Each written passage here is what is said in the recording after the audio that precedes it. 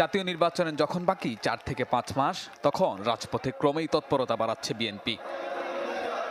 বছরখানেক আগে শুরু করা দেশব্যাপী নানা কর্মসূচির পর মহাসমাবেশ। এক দফা নিয়ে দলের নেতাকর্মী ও সরকারকে স্পষ্ট বার্তা দিতে চায় বিএনপি। চেয়ারপারসনকে ছাড়া এবারই প্রথম মহাসমাবেশ ডাকা হলেও এ কর্মসূচিকে সরকার বিরোধী আন্দোলনের টার্নিং পয়েন্ট হিসেবে দেখছে দলটির হাইকমান্ড। দেশনেত্রী বেগম খালেদা জিয়া ছাড়া প্রথম কিন্তু বিএনপি একটা মহাসমাবেশ ডাক দিয়েছে।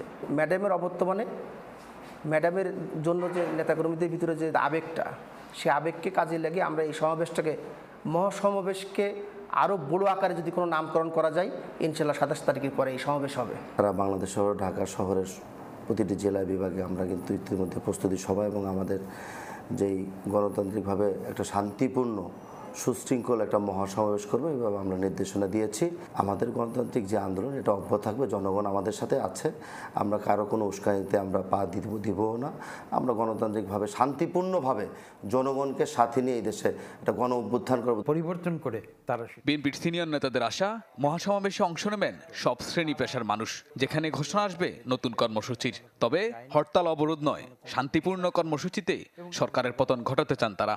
তারাও চাচ্ছে যে বিএনপি যাতে সেদিকে যায়, কিন্তু বিএনপি সেদিকে যাবে না। বিএনপি একটি গণতান্ত্রিক দল, এবং আমরা বিশ্বাস করি যে আজকে গণতন্ত্রের জন্য মানুষ মাঠে নেমে আসবে, তার ভোটের অধিকারের জন্য মানুষ নেমে আসবে। সেজন্য তারা সম্পূর্ণ শান্তিপূর্ণ গণতান্ত্রিক প্রক্রিয়ায় একটি স্থানে সমবেত হয়ে প্রতিবাদ করবে এই সরকারের বিরুদ্ধে।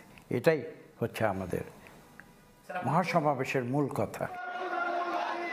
সাতাশ জুলাইয়ের মহাসমাবেশে বড় জমায়েত ঘটিয়ে সাধারণ মানুষের সমর্থন টানতে মরিয়া বিএনপি।